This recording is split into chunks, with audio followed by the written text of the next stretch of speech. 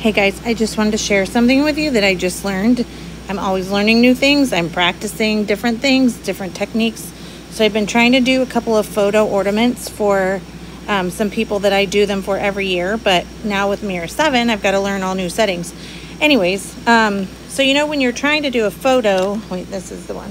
When you're trying to do a photo, you have to invert the image. Otherwise it looks like a negative, you know? So I have like this software that I would like put it in and then invert it and then save it and then pull it over into Lightburn.